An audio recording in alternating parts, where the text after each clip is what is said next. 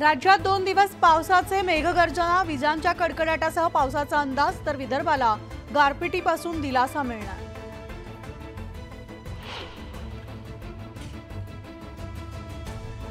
अमरावती जिल्ह्यात रात्री वादळी वाऱ्यासह अवकाळी पाऊस नवनीत राणांचं प्रचार कार्यालय पूर्णपणे जमीनदोस्त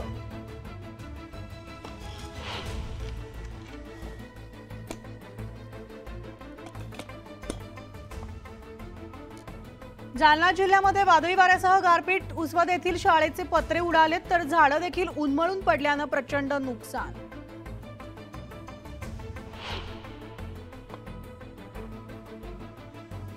धाराशिव जिल्ह्यात अवकाळीमुळे शेतकऱ्यांचं नुकसान स्वाभिमानी शेतकरी संघटनेकडून नुकसान भरपाईची मागणी.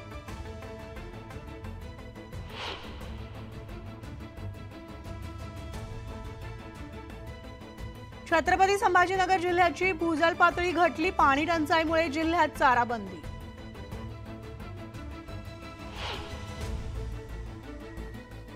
छत्रपती संभाजीनगर जिल्ह्यातील लघु प्रकल्पांमध्ये ठणठणाट. छप्पन्न लघु प्रकल्प पूर्णपणे कोरडे जिल्ह्यात चारशे त्रेचाळीस टँकरद्वारे पाणी पुरवठा.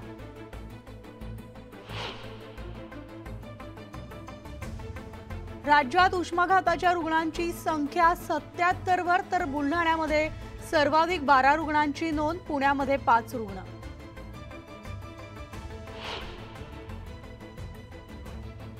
उन्हाच्या तडाख्यानं मुंबईकर हैराण नागरिकांना उलटी बेशुद्ध पडणे उष्माघाताचा त्रास सतत पाणी पिण्याचा डॉक्टरांचा सल्ला.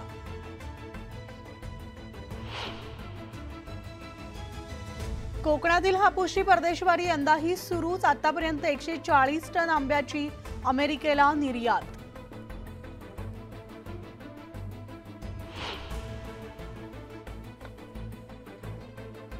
केळीची आवक मोठ्या प्रमाणात वाढली. सावद्यात मात्र केळीचे स्थिर भाव केळीला प्रति क्विंटल बाराशे ते सतराशे रुपये भाव.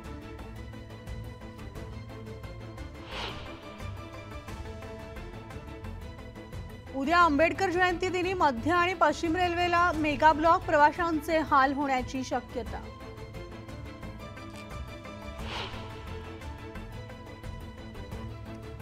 घराचा ताबा विलंबाने मिळाल्यास खरेदीदार व्याजासाठी पात्र उच्च न्यायालयाच्या निर्णयामुळे खरेदीदारांना दिलासा.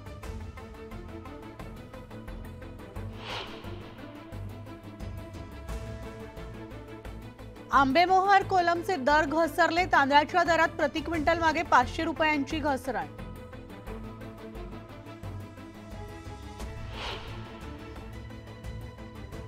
महानिर्मितीकडे सोळा दिवस पुरेल इतकाच कोळसा साठा सत्तर ते ऐंशी टक्के औक्षणिक वीज निर्मिती.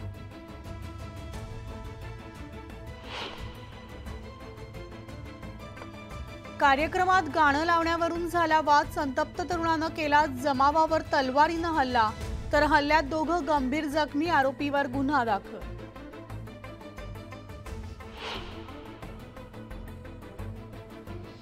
घरगुती गॅस सिलेंडरच्या बाटल्यांमधून गॅस चोरी पोलिसांकडून तिघांना अटक तर साडेचार लाखांचा मुद्देमाल जप्त.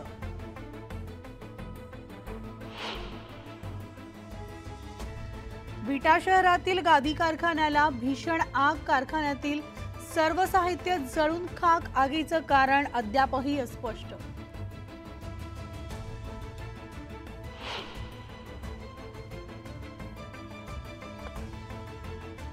आणि दापोलीमधील लक्ष्मीनारायण मंदिरात रामनवमीचा उत्साह भजन कीर्तनात रामभक्त झाले तल्लीन.